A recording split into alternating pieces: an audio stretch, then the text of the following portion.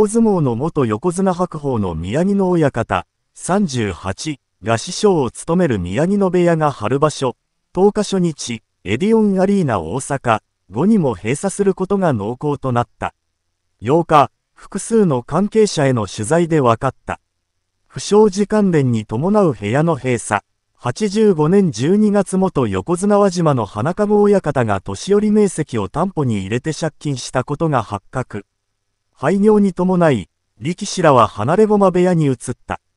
10年5月木瀬親方、元前頭肥後の海、らが暴力団関係者の大相撲観戦に関与した問題が発覚。部屋の閉鎖処分を受けたことに伴い、北の海部屋に吸収された。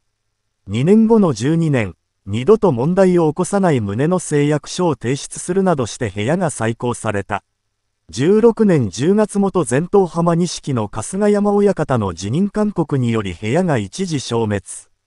引退から4年半にわたり、教会に残るために必要な、年寄り名跡証書を所有してなかった。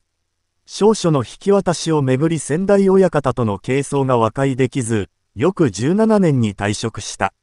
20年7月元前頭朝日里の中川親方が弟子に暴力を振るうなど不適切な指導を行った。これにより委員から年寄りへの2階級降格処分を受け、部屋が閉鎖に。